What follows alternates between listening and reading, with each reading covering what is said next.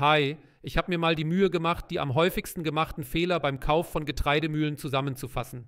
Bevor du also eine Getreidemühle kaufst, schau dieses Video unbedingt bis zum Ende, damit du nicht die falsche Wahl triffst. Außerdem haben wir für dich in der Videobeschreibung empfehlenswerte Modelle verlinkt. Schau also später dort vorbei. Ein häufiger Fehler ist die falsche Wahl der Mahlleistung. Viele unterschätzen, wie wichtig die richtige Leistung ist. Eine zu geringe Leistung bedeutet, dass das Mahlen von Getreide unnötig lange dauert, was besonders bei größeren Mengen problematisch wird. Achte darauf, dass die Mühle mindestens 100 bis 200 Watt für den Hausgebrauch hat, damit du schnell und ohne Probleme arbeiten kannst. Dann kommt oft die Materialwahl ins Spiel. Ein weiterer Fehler ist es, eine Mühle mit dem falschen Mahlwerk zu wählen.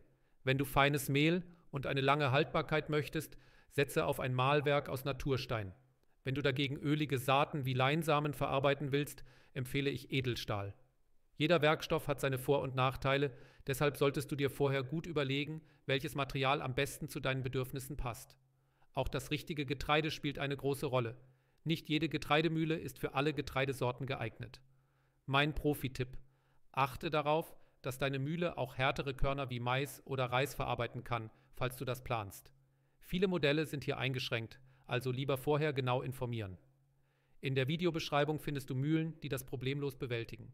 Ein Punkt, der oft übersehen wird, ist die Lautstärke. Viele unterschätzen, wie laut eine Getreidemühle tatsächlich sein kann, besonders bei regelmäßigem Gebrauch.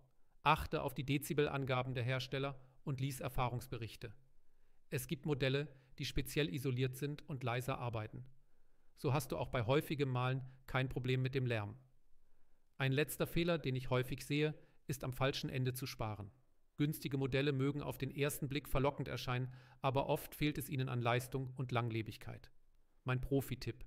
Investiere lieber in ein hochwertiges Modell, das länger hält und dir über die Jahre gesehen Geld spart. Besonders bei Geräten, die regelmäßig im Einsatz sind, lohnt es sich etwas mehr auszugeben. Wenn du diese Tipps beachtest, wirst du garantiert die richtige Getreidemühle für dich finden. Denk dran, in der Videobeschreibung sind unsere Empfehlungen für verschiedene Preisklassen verlinkt. Da ist sicher das passende Modell für dich dabei. Vielen Dank fürs Zuschauen und viel Spaß mit deiner neuen Getreidemühle.